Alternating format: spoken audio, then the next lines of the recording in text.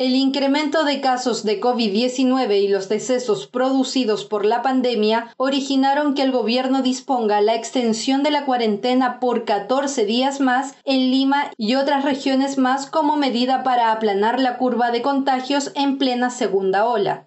Hemos acordado prolongar por 14 días las medidas dispuestas para las zonas de riesgo extremo. Sin embargo, también hemos podido hacer una evaluación en lo relativo a la focalización de estas medidas.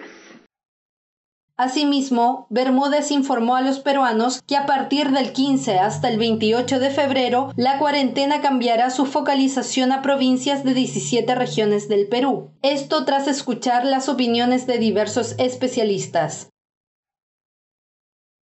¿Qué provincias del Perú estarán en cuarentena? En Amazonas, la provincia de Ucubamba. En Arequipa, Arequipa, Camaná, Islay y Cayoma. En Ayacucho, la provincia de Huamanga. En Cajamarca, Cutervo. En Cusco, las provincias de la Convención y Canchis. En Huancavelica, la provincia homónima. En Ica, las provincias de Ica, Chincha y Pisco.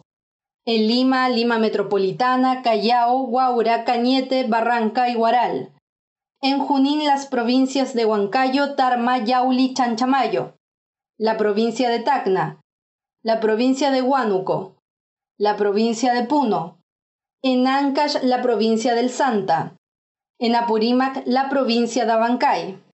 Se suma la provincia de Pasco.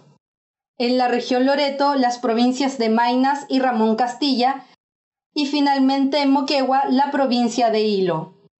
La disposición se produjo luego de la sesión de Consejo de Ministros de este miércoles, a través del cual el Ejecutivo analizó las cifras que va dejando la pandemia en el país y la situación sanitaria ante la falta de oxígeno medicinal y camas en las unidades de cuidados intensivos en algunas zonas. El contexto actual tiene un nuevo factor, la campaña de vacunación. Hasta este miércoles, más de 3.000 médicos de la primera línea de combate al virus se vacunaron con la primera dosis del laboratorio chino Sinopharm.